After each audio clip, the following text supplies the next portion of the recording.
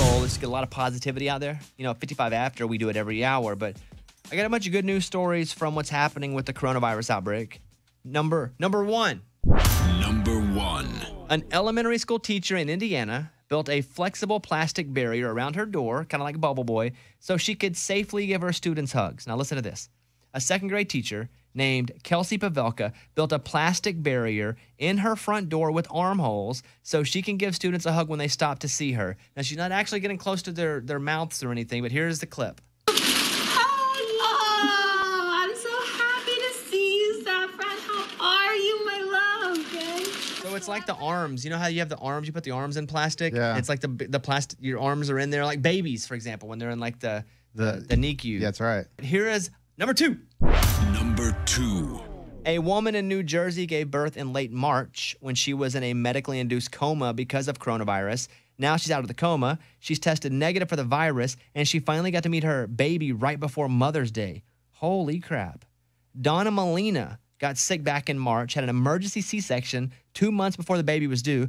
Right after the surgery, doctors had to put her in an induced coma. She beat the virus. She's negative. She met her daughter for the first time for Mother's Day. Here's a clip of her getting to meet her baby. I'm so excited. oh my God, look at her. I was in an induced coma for 11 days. I was intubated and on a ventilator. They did an emergency C section, and that's the last thing I remember because then after that, I was out. Her little feet, her little hands, just so amazing how some someone so small can pull through and survive. The hospital was amazing. They worked on me, they didn't give up, they took care of me in the ICU. And here we are together, the best Mother's Day ever. Holy cow. Love that. Isn't that a great story? She said the last thing I remember. Yeah.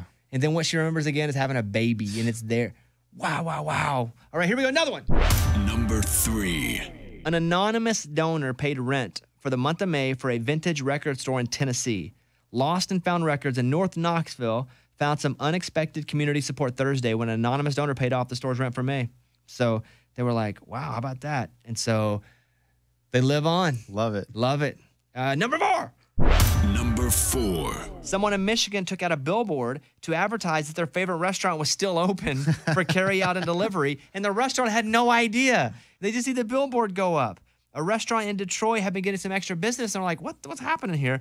And they found out that somebody put a billboard up. The only thing he gets every time he comes in, he gets his doner kebab with fries and a nice cold pop, and he's on his way. He just wanted to do something very nice for us. He's seen how hard we were working and, you know, how well we do with customers and all of our employees, and he just kind of, you know, was really nice. How crazy is that? He wanted the store to survive. He wanted the store to survive. Give me one more. Number five. Number five. A post office in a small town in Iowa apparently found a postcard from 1987 while they were doing a deep clean because of Corona, and then they delivered it. They lost that card since 1987. Wow. Who? What a person who wrote that card? They're old now. Dang. Uh, the guy who it was sent to still lived in town. They found him and gave him the card. But the person who wrote it, he's like, "Why didn't I not hear back from William?" what a jerk. I sent, I sent him a postcard from Mount Rushmore. I never heard back from him.